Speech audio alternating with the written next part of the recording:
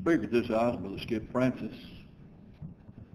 I don't remember when I first uh, became acquainted with uh, Skip by name, but uh, sometime a few years ago, I began seeing his name in connection with some uh, articles that were written, some things of that kind, and began to admire what I saw from him, and uh, had an opportunity to get a little better acquainted with him. Oh, three or four years ago, I don't remember just how long ago now. Through his uh, suggestion, I'm sure, I was invited to preach in a meeting where he is the pastor. No, he's a pastor, I'm sorry. He's one of the pastors and preacher, just to make that perfectly clear. but he arranged to be out of town the entire time of the gospel meeting. I think he did make it back Wednesday night. The meeting started on Sunday morning. Uh, actually, he was not out of town all the time. He made it for Saturday night supper before the meeting started. there is a story behind that.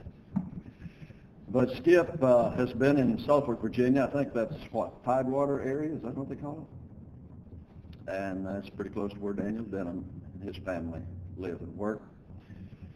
And uh, has been there several years now, doing a very good work there, good sound congregation there.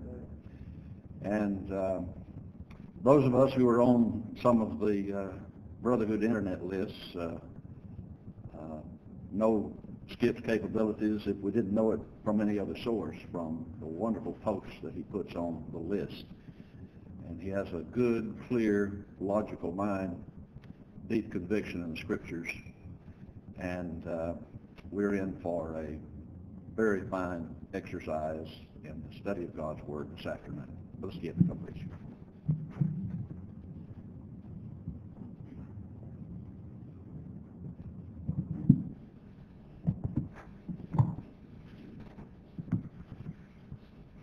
I guess as we often do when we participate in these events, I want to take a moment or two to thank the Spring Elders for inviting me as well as Brother David Brown.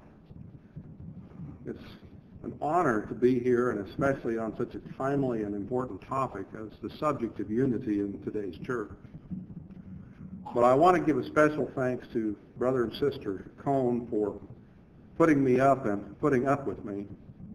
That's no mean task because we were, were able to spend a couple of weeks together at the English lectures and kind of traveled all over England together. So the fact that they put up with me knowing how I am is a pretty incredible thing. One of the things that I strove to do in the manuscript was to address how the world sometimes affects the church. And of course I had a section in there on how the church was affected by slavery and the Civil War. Today the church is affected by ecumenism, humanism, evolution, postmodernism, and what they're now calling neoconservatism. In politics, the neoconservatives say that they are compassionate conservatives, and of course, by implication, that means that conservatives are not inherently compassionate. I wish some of them would have read Barry Goldwater's book, uh, The Conscience of a Conservative. They also compromise their principles by doing what they call reaching across the aisle. And you wonder, you wonder how just, just how far they're willing to reach across that aisle when you see some of the things they're involved in. The religious neocons say that they are balanced, as though conservatives are not balanced, and are willing to compromise fellowship. Of course, my question is why reach across the aisle? Why compromise the truth? In politics, why call yourself a Republican and stand opposed to half the party platform?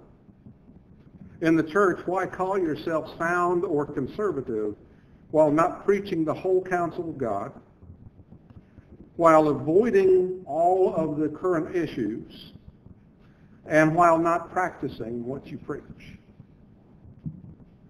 You know, the first question that I had to ask myself about this lectureship was, how do I condense a 46-page manuscript into a half-hour lecture? Well, there were two possible answers to that. First, I could either rewrite the entire thing, or second, I could give a simplified answer to the question, is the church in crisis? Absolutely. The church has been in crisis since its very foundation. And it was predicted by the Lord that it would be so while the church itself was still being built. But since I agreed to a half-hour lecture, I'm going to ask you to read the manuscript while I pare down my remarks to a size more suitable to this time frame. Unless, of course, I want to use some of that Montauk math. Or, or maybe the time schedule that Brother Blake used. How would we define a crisis? There are several synonyms for crisis. A catastrophe, a predicament, a disaster, a calamity. Dictionary definitions include a dangerous or worrying time, critical moment, and a turning point in disease. The question is, is the church in crisis? It's safe to say that the church, at least in this country, is in a grave predicament. It is a dangerous and worrying time a critical moment, and in some cases the turning point in spiritual disease. Paul wrote, For this reason many are weak and sick among you, and many sleep. 1 Corinthians 11.30. As has been said, this is not a test. It is an actual emergency. You know, in one of my very first attempts at writing anything for the church, I set out to edit, edit a little quarterly for the local area churches. My very first editorial was entitled, What's Your Sign? Now, of course, this was a, a little kind of a takeoff on the subject of astrology, but it was designed to illustrate how congregations that had left the faith still maintain by virtue of their church signs an affiliation with the Church of Christ. There are many today that fall into this category who now believe that the gospel of Christ is not sufficient and have added to their worship and practice that for which there is no Bible authority. This includes all of you children's churchers, you lads to leaders, you disaster reliefists. It includes all praise teamsters, winterfestians, and small groupers. Why do you still list Church of Christ anywhere on your sign? It is plain that you are no longer a Church of Christ, at least in any biblical sense. We have a case in point in Tidewater, Virginia. In the city of Chesapeake, the congregation was once considered a faithful body of the Lord's church. The Providence Road Church is a study in digression.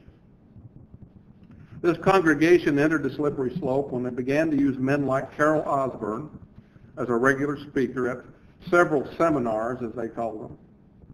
At the time, Brother Osborne was a faculty member of Abilene Christian University and a noted and admitted change agent. Of course, you can read the full account in the manuscript. Shortly after my arrival in Virginia, nearly six years ago, I was told by the Suffolk elders that we had nothing to do with the Providence Road congregation, due in part to their having hosted a meeting with Jeff Walling. Now, back in the early 1990s, when it became known that Providence Road was sponsoring Jeff Walling, Brother Danny Douglas, who was preaching for the Portsmouth, Virginia congregation, confronted the Providence Road elders and their preacher, Bobby Clark, over the matter. He brought documents and tapes of Walling's errors. And as he reported to me, he said Bobby Clark kept stopping the tape of Walling's sermon that we were attempting to listen to. In other words, we got nowhere with them. Several other congregations in the area also opposed this meeting with Jeff Walling.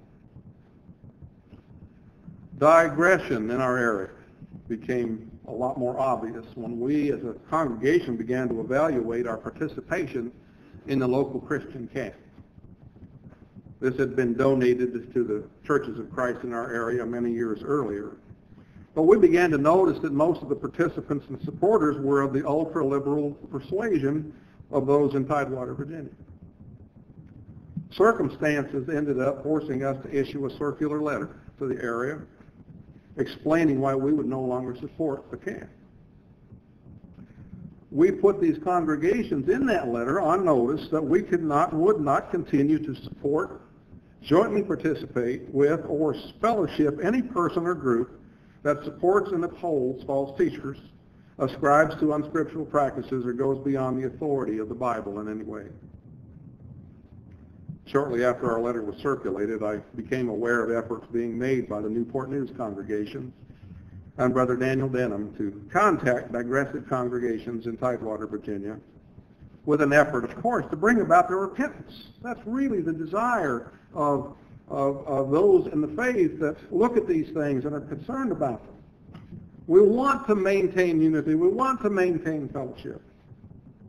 But after nearly a full year of efforts, the Providence Road congregation, along with four others in the area, received notification that they were being withdrawn from. First by the Newport News Church, and then, of course, our congregation followed suit. Because they were endorsing false teachers. They were using the children's church program, endorsing denominational practices and works, hand clapping, and other such practices, which were individually reason enough for withdrawal, but added up to overwhelming evidence. Now, since then, the Providence Road Church has relegated Church of Christ to a subtext on their sign. They're now a Church of Christ instead of the Church of Christ. They began a seeker service. Now, that's one of those denominational terms been floating around for several years. On Saturday afternoons, that consisted of electronically enhanced rock-style music, complete with guitars, drums, and other instruments of music, which played so-called Christian rock backed up by a light show and all the entertainment accoutrements involved. It was not long before this self-billed change point service replaced Sunday evening worship service. So now they can rock and roll instead of reverently worship the Lord.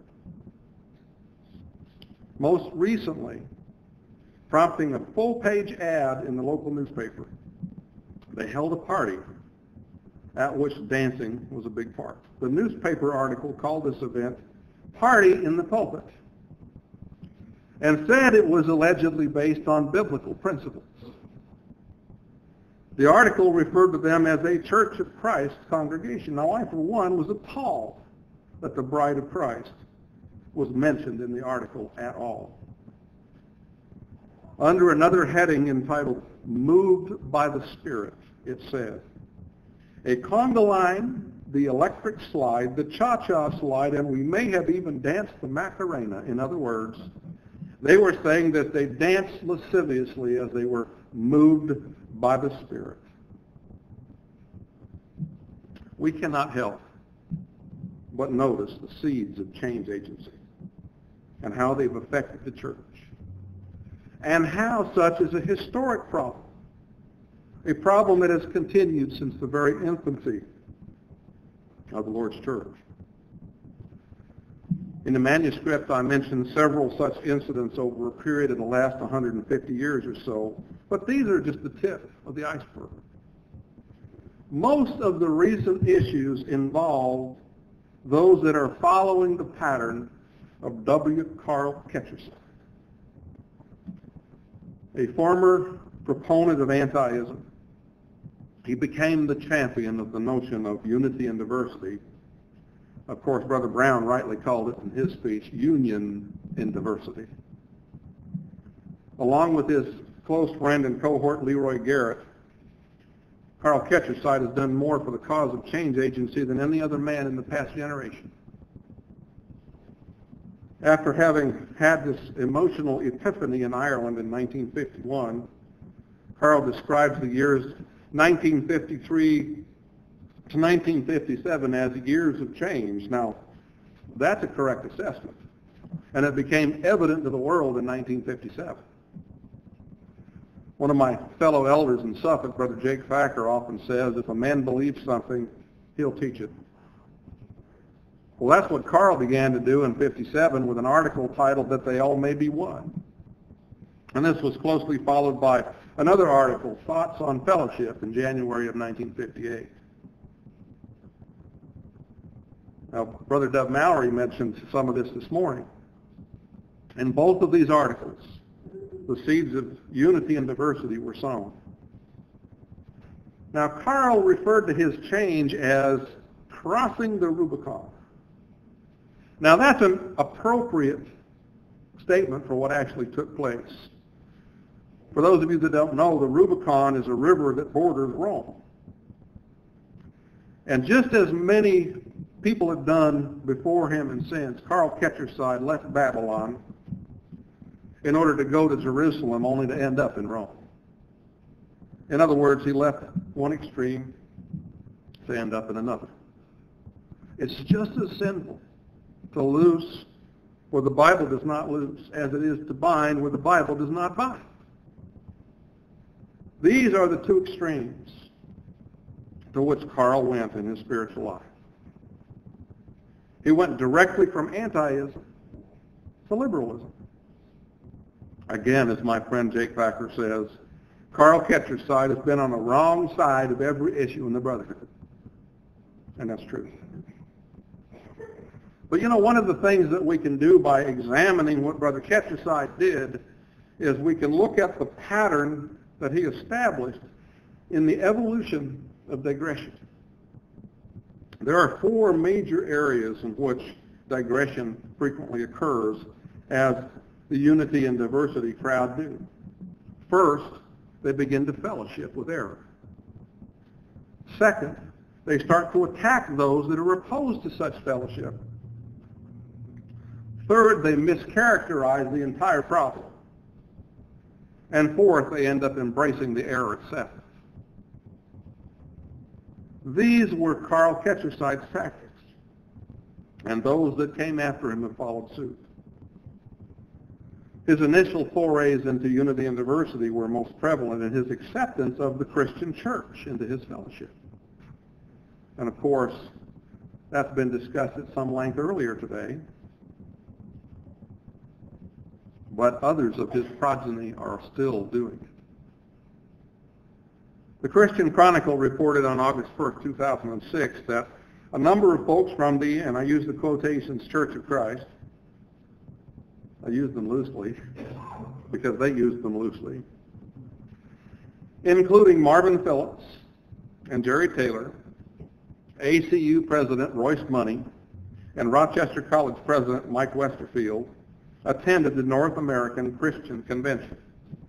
This convention is designed to foster improved relations between churches of Christ and the Christian church. At the convention, Jeff Walling presented a Bible that had been given to him in memory of his late father, to Dave Stone, minister of the Southeast Christian Church in Louisville. He told Mr. Stone at the time, I want to tell you tonight, you are my brother. Now, this wasn't new with Jeff. It was Jeff Walling who said, at the 15th annual Tulsa International Soul Winning Workshop during his speech on the subject of John 17, that they all may be one. In order to preach the text, we can't get into this lesson without appreciating the fact that Jesus asked that we would throw the calf rope around all of those who just believe in him and pray and work for the unity of believers. Now, in this statement, Jeff Walling proves that you can give a man enough calf rope, he'll hang himself.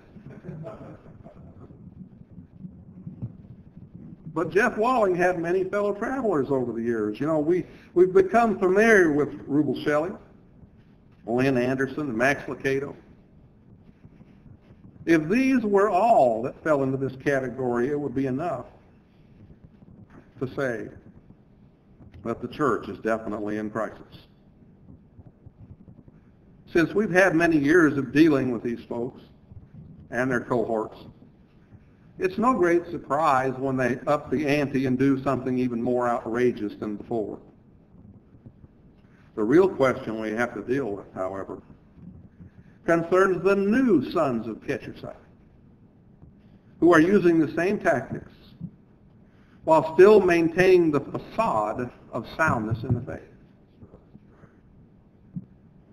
It's also interesting to note not only the concerns of fellowship with the Christian church, but also all the lessons that many of our progressive and neo-progressive brethren have learned from that. Today, we seem to have moved from being lovers of the church to being lovers of the parachurch organization. Back in the 1850s, brethren tried to hand over their mission work to an organization known as the American Christian Missionary Society. The church today has opted for many such groups to do the work that's already been assigned by God to the family and to the church. Like so many in the current parachurch movement, being entirely of human origin, the American Christian Missionary Society had no authority from Scripture in favor of either its organization or its work. But as has often happened with such issues, both before and since, brethren have failed to exercise due caution and test all things, hold fast what is good. 1 Thessalonians 5.21. Paul wrote, And whatever you do in word or deed, do all in the name of the Lord Jesus, giving thanks to God the Father through him. Colossians 3.17. When you do something in the name of the Lord, you're doing it with his authority. If there's no authority for it, you don't do it. I served in the United States Air Force for 21 years. We knew you didn't do anything you didn't have a right for. Why the church can't seem to understand that today is beyond me. Churches of Christ, Disaster Relief Enterprises, Inc., is one such organization. Now I want you to notice that the first thing they do is seek to identify with the church. Yet they are not the church. They're not part of the church by organization, by preaching, by teaching, or by worship. Second, they're not overseen by any eldership. In fact, they have a board of directors, an advisory board, a president, a vice president, and 11 paid employees. Third, they solicit funds in unscriptural ways. They advertised a CD produced by the Jordanaires. Many, many of you remember that. That was the backup group for Elvis Presley. As well as several other methods that they used to contribute to their effort with those all too familiar credit card logos on their website. Fourth, they boast of receiving funds from those other than churches of Christ, identified merely as churches the only conclusion we can come to is that these are denominational groups. In addition, they receive donations from various corporate entities.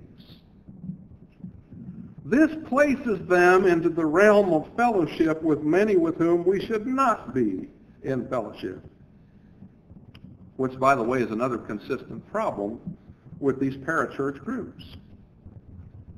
Notice that Paul wrote, Moreover, brethren, we make known to you the grace of God bestowed on the churches of Macedonia, that in a great trial of affliction the abundance of their joy and their deep poverty abounded in the riches of their liberality. For I bear witness that according to their ability, yes, and beyond their ability, they were freely willing, imploring us with much urgency that we would receive the gift and the fellowship of the administering of the saints. And not only as we had hoped, but they first gave themselves to the Lord and then to us by the will of God. 2 Corinthians 8, verse 1 to 5. The church is nowhere authorized to solicit funds from non-Christians, corporate entities, or denominational groups, nor is it authorized to fundraise by offering any services for funds. Now, all of that said, that's completely disregarding that the fact that the work they do is not authorized in the Scriptures. Similar to the CCDRE is the organization known as Lads to Leaders, Leaderettes. Now, many have sought to compare that with the old Timothy classes or preacher boy training, but it's not. Besides other obvious problems, they involve folks in sinful fellowship. congregations that may not be in fellowship with one another locally may in fact be in fellowship at a Lads to Leaders convention. Many of the congregations that are involved in Lads to Leaders practice error of one form or another. But the Lads to Leaders folks don't seem to have practiced 1 John 4 1 either. Now, by way of explaining that and showing that, I mentioned that we had withdrawn from five congregations in our area. Well, one of those congregations has begun advertising Lads to Leaders in just the past year when it's evident that they're practicing sinful things. Like the CCDRE, Lads to Leaders is not the church. In fact, they tell you this on their webpage. Well, I have a question for them. If you are not the church as you claim, why do you have worship services that are held at your convention hall? Why do you take up a collection at said worship services and keep the funds for lads to leaders? According to the scriptures, the collection that is commanded on the first day of the week is a collection for the saints. 1 Corinthians 16.1. It's later called ministering to the saints in 2 Corinthians 9.1. The term the saints refers to the church. If lads to leaders is not the church, then by what authority do they take up a free will offering? Now, I've attended other venues over the years where I've been gathered together with other Christians on the first day of the week arrangements were always made for us to worship at the sponsoring congregation or one that was nearby. Men who are being touted as sound in the faith today have no problem whatever being actively involved with CCDRE and Lads to Leaders, as well as practicing these children's worship, children's church functions. Men like Gary Hampton, the new director of East Tennessee School of Preaching, and Phil Sanders, staff writer for The Spiritual Sword, come to mind immediately. Unfortunately, the church has many new sons of Ketcherside, those that practice fellowship with error, attack those who oppose the error, mischaracterize the entire circumstance in order to cloud the issue, and will ultimately embrace the error themselves. One error that is, at, is literally at the heart of the current crisis in the church is that of Dave Miller, who taught the unscriptural and unauthorized practice of elder reevaluation and reaffirmation, as well as the so-called marriage intent doctrine, which would allow someone to defraud the government in, in, in having one of these green card marriages and then simply divorce and remarry. Dave is where the error lies. But we're talking about those that fellowship him and his error.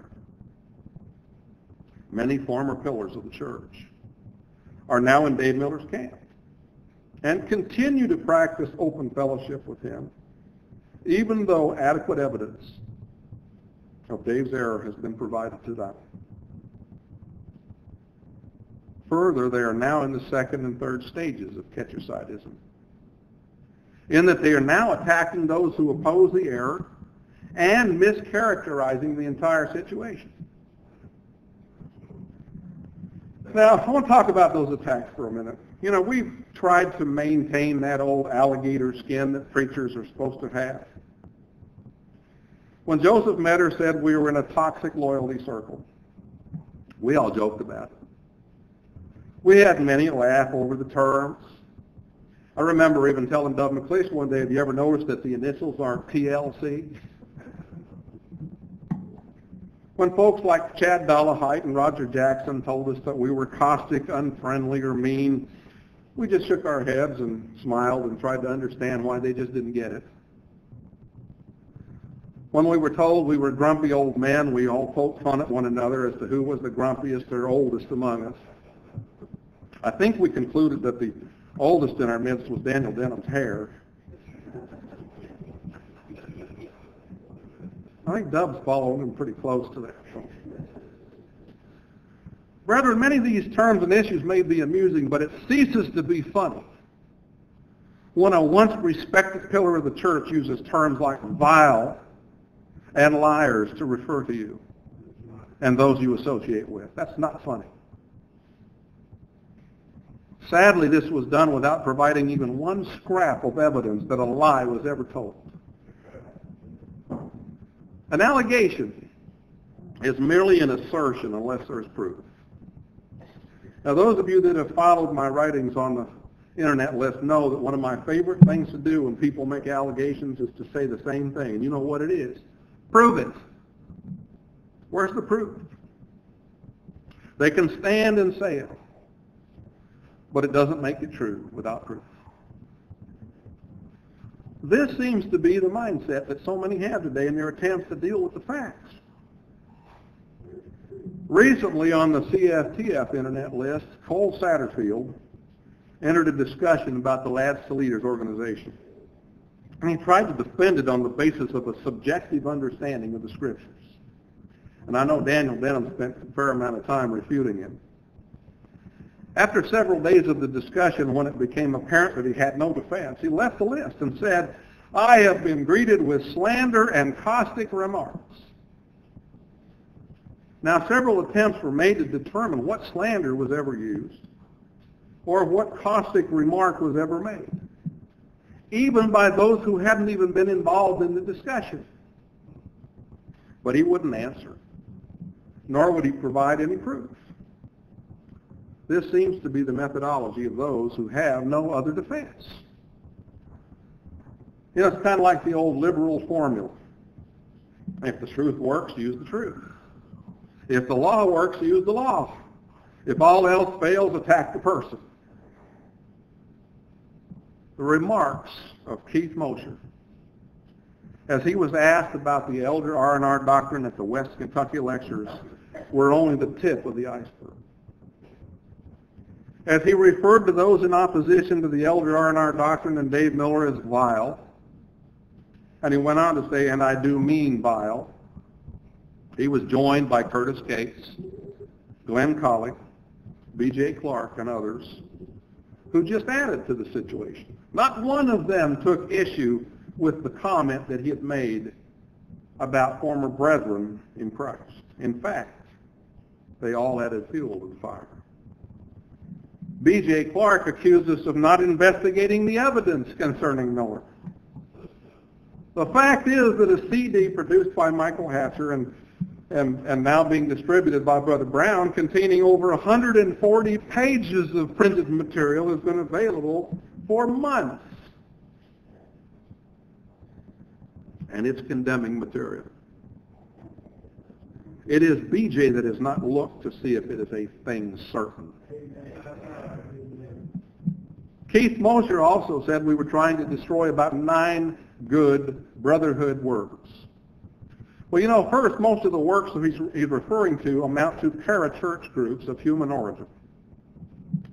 Thus, it can't be rightly said that they are brotherhood works, save in the fact that brethren are involved in them. Second, they are only good if they continue to meet the scriptural criteria for goodness. I'd say that fellowship with error would disqualify them from that.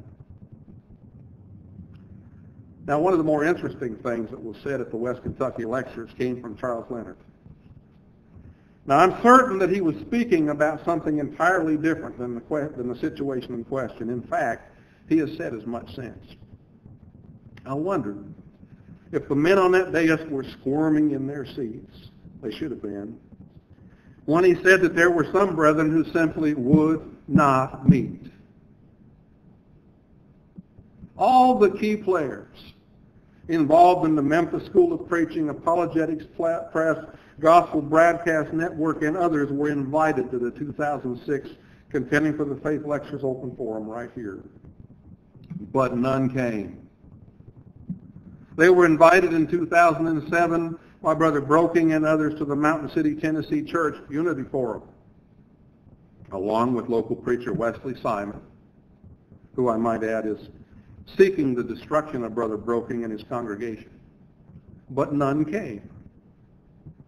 They were even invited by Brother Lynn Parker to meet in the Forest Hill Church building or anywhere else they chose in any format of their own design as long as it was taped for all the brethren to have access to. Now that request was made in April of 2007 and it has never been responded to. Who is it that is not meeting? In the September-October 2007 issue of Yokefellow, the publishing arm of Memphis School of Preaching, Bobby Liddell, the school's new director, wrote an editorial entitled Love Your Enemies. But there wasn't a lot of love in that editorial. He went to great lengths to address these issues while never naming who he was talking about or what he was talking about. As has been said numerous times, however, implication is a difficult thing. When one speaks within a certain time frame or concerning, concerning a certain subject matter, who they're talking about does become evident. In that editorial, he had some obvious targets in mind, especially when you consider the fact that Memphis has been a part, a great part, of the current controversy over Dave Miller. Brother Liddell wrote, we are to pray for those who maliciously allege, falsely accuse, hatefully slander, and knowingly bear false witness in an attempt to bring harm to us, to ruin our reputations, to encourage others to shun us, or who would encourage others to join with them in their dishonest and unethical denunciations and persecutions of us. It's evident in the context of current events that Brother Liddell is making reference to those of us who oppose Memphis and their fellowship with Dave Miller. While couching all of this in the phraseology of being loving, he implies malice, lying, hate, false witness to his opposers. He also implies a number of problems of the heart when he suggests the purpose behind all this that has never been the reason or rationale for such opposition. He says we want to ruin reputations and encourage others to shun them or encourage others to be dishonest and unethical. How far from the mark such a statement is. Everyone here wishes we could go back to the time when Memphis School of Preaching was considered one of the few places worthy to train preachers in our time. Now, there's a, a part of this statement that I took personally to heart because he followed by saying many attacks are nothing more than calculated displays designed to parade the strong stand one is supposedly taking for the truth. The goal some seek to accomplish is of such importance to them that they can, with assumed impunity, do wrong to achieve it. Sadly, others, perceiving an opportunity to make a name or to, or to secure an invitation, jump on the bandwagon and ignorantly serve evil purposes. First, is it wrong to take a strong stand for the truth? Who is really ignoring the truth when they disregard volumes of written evidence? The statement that I took particular umbrage with was the implication that I or others have jumped on a bandwagon and are merely trying to make a name for ourselves or secure an invitation to the big lectures. I particularly didn't like the part about ignorantly serving evil purposes. This assumes that we're just ignorant followers of men, ditto heads, unable to think for ourselves with no ability at all to look at and examine evidence. You know, as, as Brother McClish alluded to earlier, I've only met Brother McClish and Brother Brown over the past three years or so. And last year I stated that I was the new guy here. I guess I might be perceived as one of these brethren that was seeking an invitation. Brethren, if a brother's word means anything, I can state uncategorically for myself, please, that it's my fondest desire that such an opportunity never existed. What we have is a classic example of the scientific principle that nature abhors a vacuum. You know, in football, it's the job of the offensive line to open up a hole for the defense in the defense for the running back to go through. But it's the defensive line's job, and the defensive linebacker in particular, to plug that hole. So I sought for a man among them who would make a wall and stand in the gap before me on behalf of the land, that I should not destroy it, but I found no one. Ezekiel 22:30. Those that seem to be pillars will not take a stand against error. It's up to those who will to stand in the gap. The Church of our Lord is going through another crisis as we speak. It is a dangerous or worrying time, a critical moment, and a turning point in spiritual disease. The malaise is one that has been a recurrent theme in the Scriptures. Woe to you who are at ease in Zion and trust in Mount Samaria. Notable persons in the chief nation to whom the house of Israel comes. Go over to Calneh and see, and from there go to Hamath the Great. Then go down to Gath of the Philistines. Are you better than these kingdoms? Or is their territory greater than your territory? Woe to you who put far off the day of doom, who cause the seat of violence to come near, who lie on beds of ivory, stretch out on your couches, eat lambs from the flock and calves from the midst of the stall, who sing idly to the sound of stringed instruments and invent for yourselves musical instruments like David. Amos 6, 1 through 5. It's very brave of the likes of Mosher, Cates, Clark, and Colley, not to mention Simons and others, to stand and speak when they are amongst those of like mind. It's another thing for them to have to defend the things they do and say when confronted by their accusers. As I stated earlier, they just will not meet. They desire no public forum where they are required to answer. Is Keith Mosher here today? Curtis Cates? Dave Miller? Glenn Colley? Those that actively support Gospel Broadcast networks. Where are they? It is past time for those that are at ease in Zion to get up off the, their beds of ivory, leave the hallowed halls of academia, put behind them their little star chambers and kangaroo courts, and prove their allegations against those they once called brethren, but are now simply vile liars to them. Don't continue to put far off, the, excuse me, the day of doom by crying peace, peace when there is no peace. One of Curtis Cates' followers told me that Curtis and his elders had decided they should just let sleeping dogs lie. Perhaps they haven't noticed. This dog is not asleep. The dog of wrongful fellowship is a spiritual pit bull that will not go away. I've lived in the South for nearly six years, and I've learned a few Southern expressions along the way. The one that comes to mind regarding this particular pit bull of wrongful fellowship that so many of our brethren are currently embracing is, that dog won't hunt. The church of our Lord is in crisis. There's no question. It can be resolved if only brethren will meet and reason together. If such does not happen, the church will survive. Nonetheless, as long as good men continue to stand for the truth, who will stand in the gap? Thank you.